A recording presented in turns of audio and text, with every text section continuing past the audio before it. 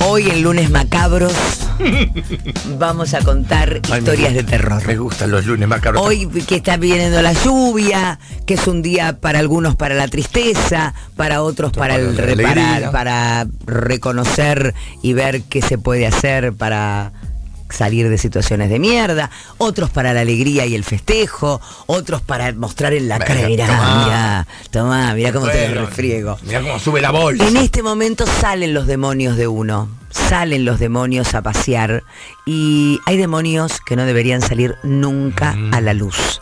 La historia que voy a contar es una historia real, es una historia de terror, pero de esos demonios que llevamos adentro, no de fantasmas, de terror.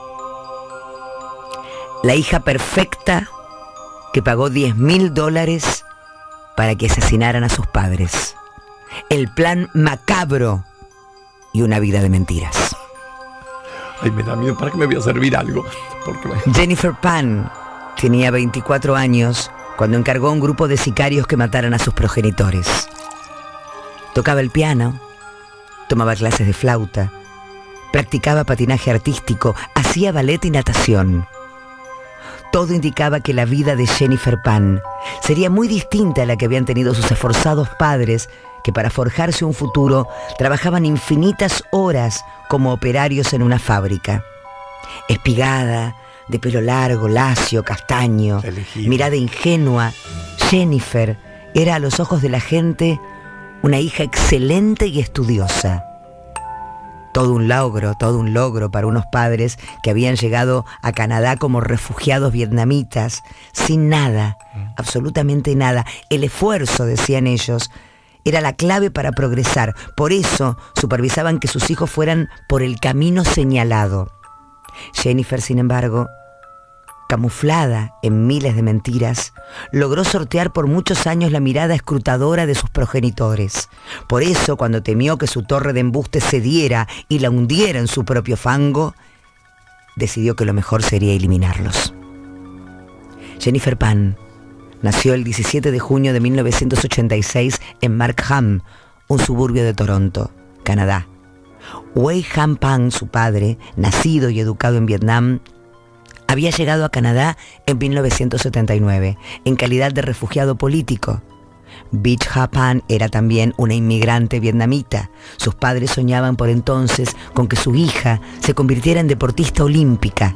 Esa fantasía quedó en el camino cuando Jennifer se le rompió el ligamento cruzado de una de sus rodillas. Fue cuando comenzaron sus malas notas que Jennifer descubrió el beneficio de la mentira. Como no se animaba a llevar sus bajas calificaciones a casa, se las ingenió para falsificar los boletines. Puso todo su esfuerzo para hacerlo a la perfección.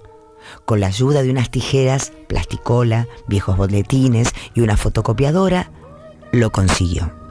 Sus padres vieron solo las notas sobresalientes. Jennifer respiró.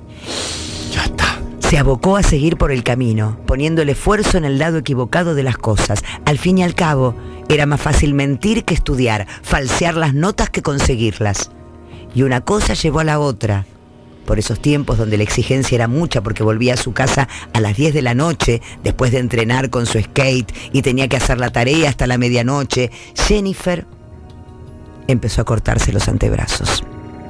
Se hacía unas dolorosas y delgadas líneas.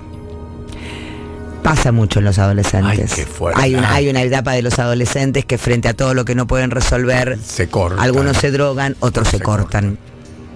Esta nena tenía también de Mm, todo que no. hacer, ¿eh? Tenía que cumplir las expectativas Eso. de patín, eh, natación. El esfuerzo que hizo papá y Eh, mamá. Bueno, pero, pero por ese esfuerzo tenían que Tenés pagar la exigencia. ballet, patín, flauta, piano Todo- y natación. Todo mal. No Las- tengo tiempo no. para nada. La, la Killer Pan. Los embustes se volvieron cada vez más elaborados.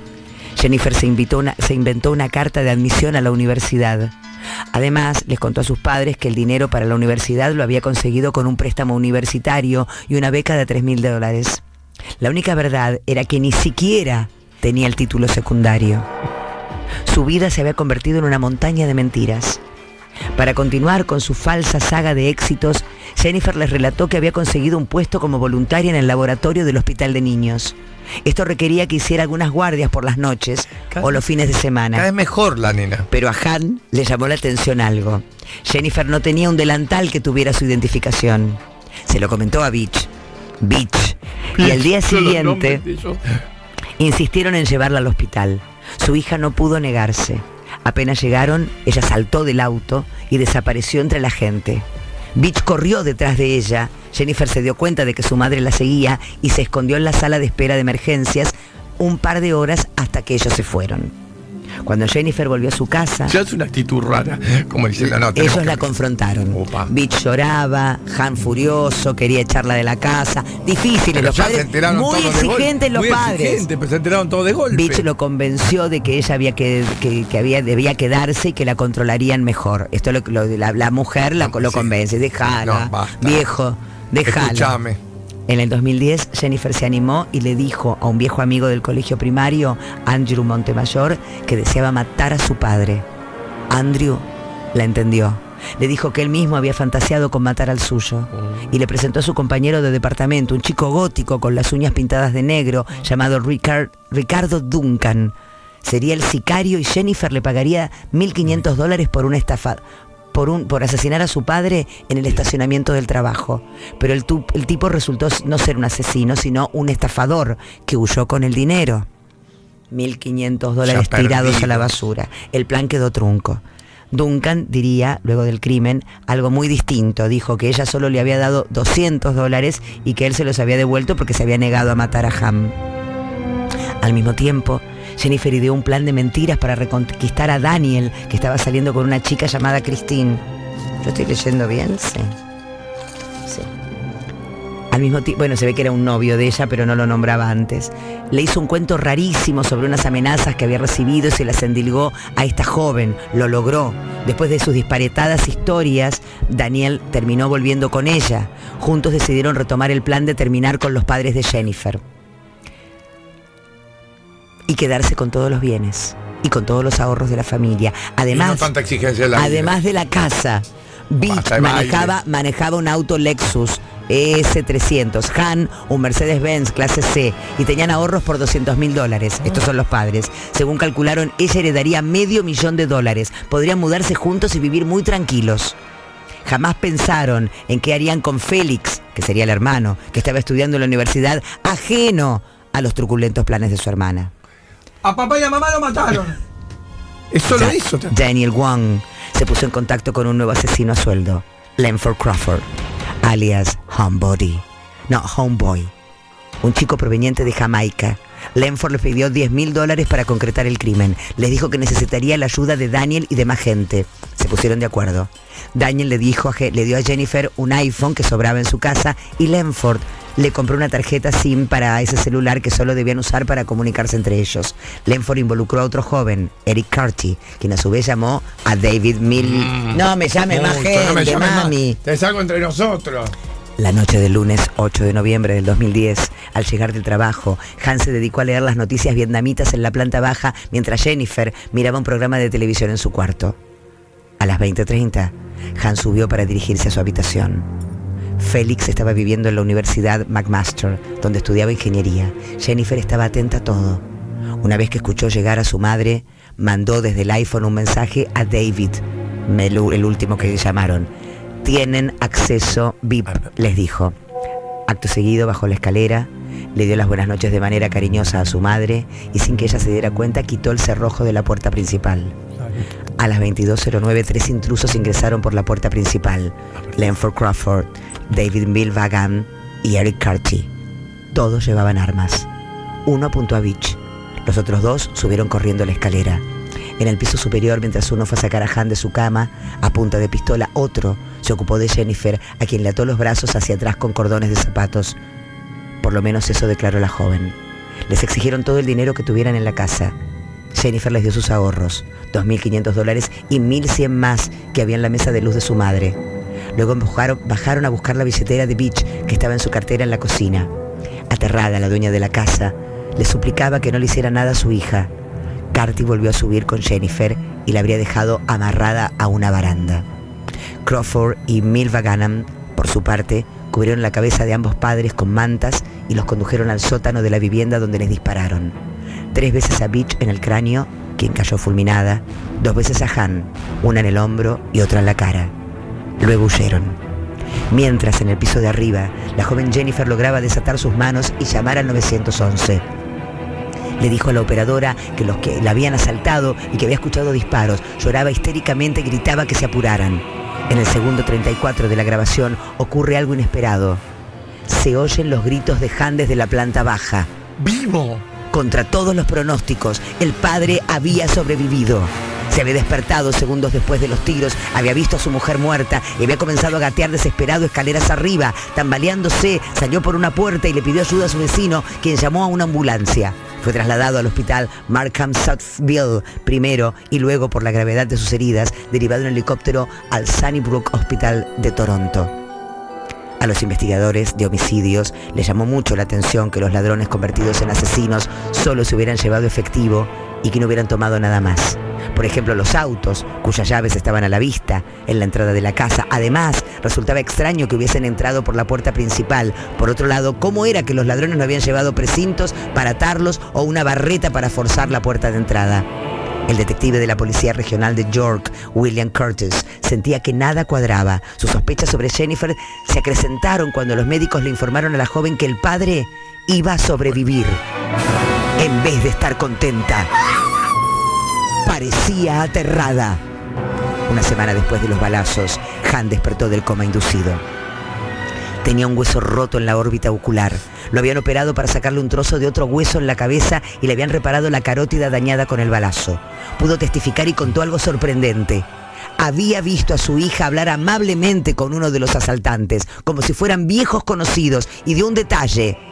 Ella no había sido atada. Piola, Luis. Ay, pero que todos acá, uno más Contra- vivo que el otro, el inspector. Contradecía lo que Jennifer había declarado en los interrogatorios. El mismo padre desconfiaba de su propia hija. Los compañeros de colegio y universidad de Jennifer también. Por esos días se realizó el funeral de Beach, al que tanto Félix como Jennifer acudieron. Al ser interrogada por tercera vez por la policía canadiense, que tiene permitido legalmente mentir a los sospechosos para obtener confesiones que sean válidas en un juicio, el oficial William Bill Goetz le aseguró que tenía una computadora con un software especial que podía detectar las mentiras. La convenció, además, de que había satélites que utilizaban tecnología infrarroja para analizar los movimientos dentro de los edificios y dentro de las casas.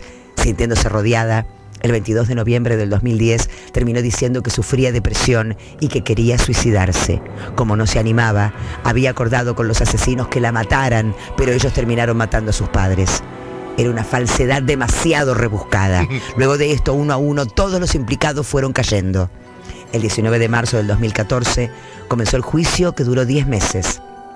Ella negó los cargos, aunque admitió en el estrado que una vez había planeado contratar a alguien para que cometiera el crimen por ella, pero dijo que en esa ocasión le robaron el dinero. El resto de la banda también negó todo. La defensa de Daniel Wong y Crawford sostuvieron que ninguno de ellos estuvo en la residencia de los PAN la noche del asesinato, que solo habían actuado de intermediarios con quien efectuó los disparos. Aportaron sus coartadas laborales. Carty dijo que solo había sido el conductor del vehículo, pero que no había ingresado. El abogado de Milbegan negó que su cliente fuera el traidor el tirador, perdón. Para la, la acusación fue contundente. Lo acusaban de asesinato en primer grado, intento de asesinato y conspiración para perpetrar los homicidios.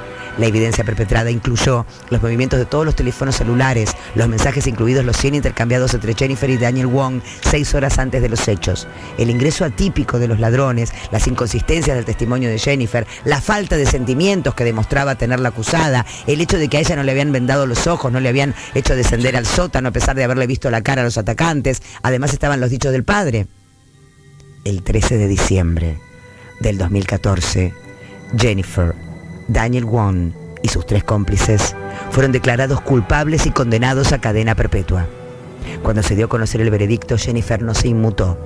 Recién pasados 25 años tendrán derecho a que se estudie la posibilidad de una libertad condicional.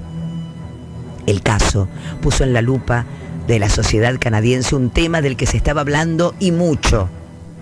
Los padres tigre. En este modelo de paternidad hiperexigente, generalmente orientales, ellos empujan a sus hijos a destacados niveles académicos, ultra competitivos, suelen buscar el éxito a cualquier costo. En esta forma de crianza los niños no son sobreprotegidos, sino sobreexigidos. ¡Libre! Historias que meten miedo.